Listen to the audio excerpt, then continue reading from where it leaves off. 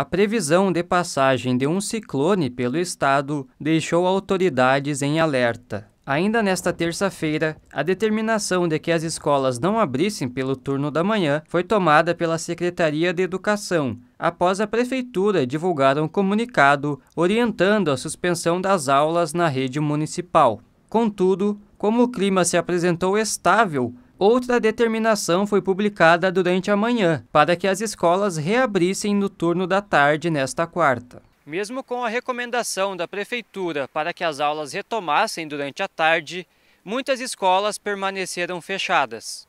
Em algumas escolas da região oeste de Santa Maria, os portões cadeados e o cenário vazio mostravam que nem todas as escolas conseguiram voltar às atividades a tempo. De acordo com a secretária de Educação do município, Lúcia Madruga, o dia letivo perdido por causa da previsão do tempo deve ser recuperado ainda sem data definida.